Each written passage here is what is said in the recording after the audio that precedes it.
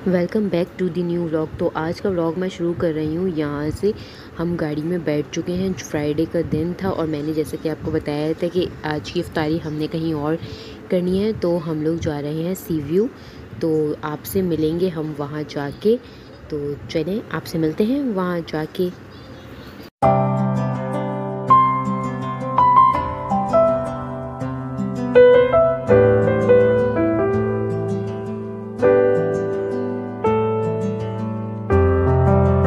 अस्सलाम वालेकुम फ्रेंड्स, कैसे हो आप सब? आई होप कि आप सब ठीक होंगे, खुश होंगे और मज़े में होंगे।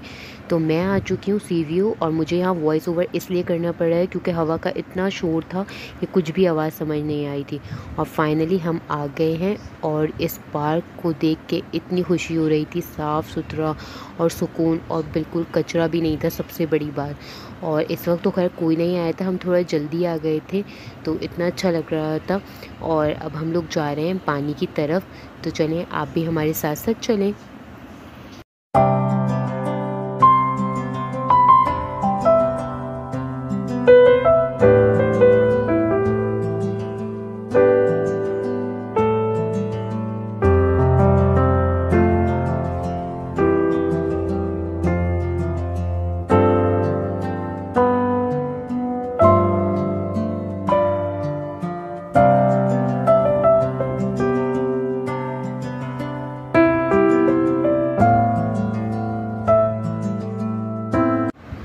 तो फ्रेंड्स अब हम जा रहे हैं पानी की तरफ़ आप ज़रा पानी देखें कितना साफ़ सुथरा है और कचरा भी नहीं है, क्योंकि ज़्यादातर लोग के रोज़े हैं तो वो लोग जो हैं अब कचरा डस्टबिन में ही डाल रहे हैं शायद, या अभी दोपहर में तो कुछ खा पी नहीं सकते, शायद इसीलिए बहुत ही सफ़ाई सुथराई का ख्याल रखा गया था और ये हम अपने फ़ूड प्रिंट बनाते हुए पानी की तरफ़ जा रहे हैं। तो मैं भी पानी की तरफ़ ही जा रही हूँ मेरे दोनों भाई चले गए हैं और मेरे एक भाई जो है वो मेरी वीडियो बना रहा है। और फ्रेंड्स ये देखेंगे सूरज कितना प्यारा लग रहा है। इतना करीब से देख देख के मुझे तो इतना अच्छा लग रहा था कि मैंने कहा कि अपने फ्रेंड्स के लिए भी थोड़ी सी क्लिप बना लूँ।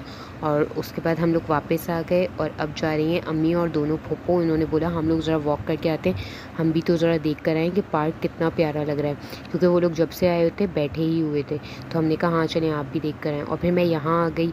यहाँ पर मैंने एक क्लिप बनाई। ये देखें कितने प्यारे प्यारे फ्लावर्स हैं, बहुत ही प्यारे लग रहे थे। तो मैंने बोला कि इनकी भी मैं एक क्लिप बना लूँ। बहुत ही ज़बरदस्त और इतना अच्छा पार्क है, पहले तो नहीं था या मैं काफ़ी टाइम बाद गई थी, कम से कम मैं दो साल बाद गई होंगी, दो से तीन साल बाद। इतना प्यारा, इतना ग्रीनरी बहुत ही ज़बरदस्त लग रहा था। और फिर सबसे अच्छा जब लगता है कि जब सफ़ाई सुथराई का ख्याल रखा जाए ना तो फिर क्या ही बात हो जाती है। कोई गंदगी नहीं थी डस्टबिन थी, सब जगह कचरा फेंकने के लिए। और लोग आना शुरू हो गए थे, क्योंकि अब इफ़ार का टाइम हो रहा था। और हम लोग भी अब जा रहे थे गाड़ी से अपना इफ़ार का सामान निकालने। तो चलें, आप भी चलें। हमारे साथ। और ये मेरा भाई जो है, सारा सामान लेकर आ गया इफ़ार का और हमने लगा लिया।